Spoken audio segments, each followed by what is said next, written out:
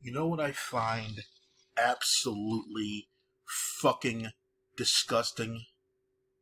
Is the fact that a company like Warner Brothers, I believe since 2017 or so, has been pissing me off more and more and more as the years gone on. They haven't gotten better; they've gotten worse. I was actually surprised when Black Adam was at least competent.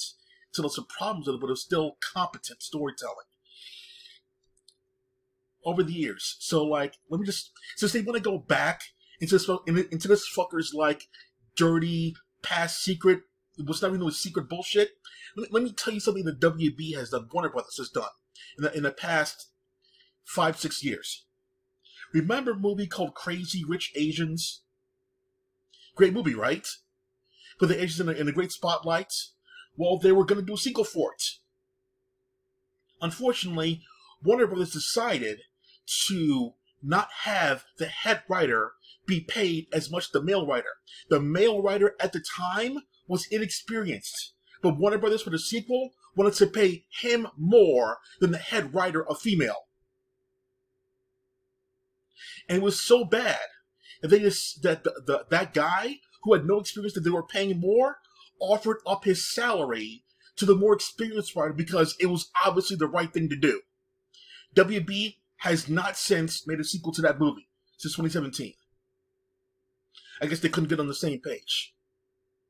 And then the years since that point, I believe since that point, Warner Brothers has shoved a gay agenda in almost every single property they could have. I was that's why I was surprised that Black Adam didn't have that nonsense in there. There was no like you know long looking from people or whatever, or you know pride flag somewhere in there. No, it was just a regular movie with regular superheroes doing regular superhero shit. I'm like, okay, thank you. But they've had Doom Patrol, Swamp Thing, uh, of course, Velma, every fucking project, uh, Legends of Tomorrow, every fucking thing they could there. They have some sort of gay agenda in some way, somehow.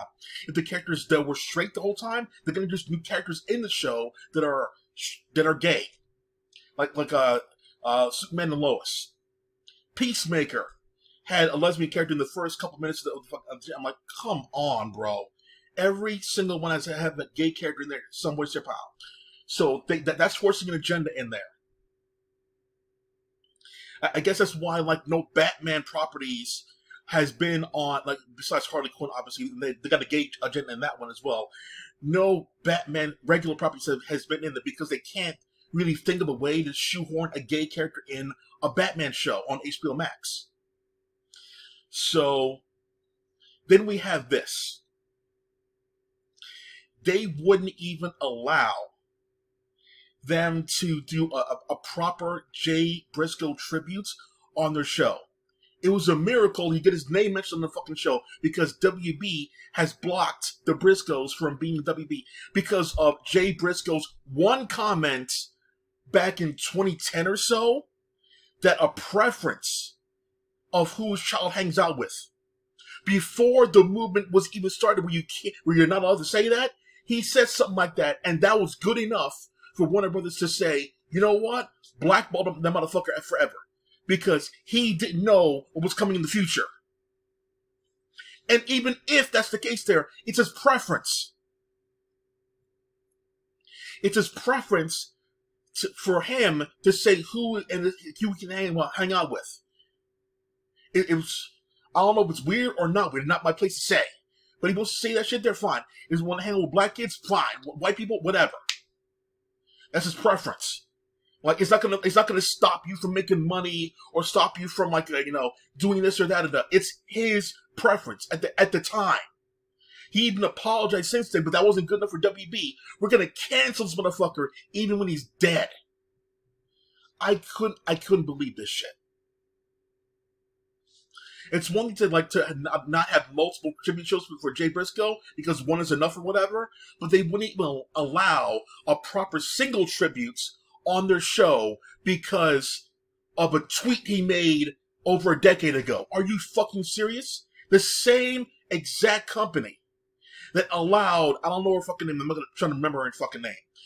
The creator of Velma, the one who voices Velma, the one who looks like Velma, yada yada, you know what I'm talking about. She inserts herself into every single project that she has. That's not a crime. But what is a crime, social media wise, is forcing yourself on your co stars. She admitted to doing that on Conan O'Brien, and she ordered her other staff members to not say anything or you're fired. So she knew she fucked up. She silenced the crew from telling anybody, and then she's stupid enough to go on national TV and say that she did that shit.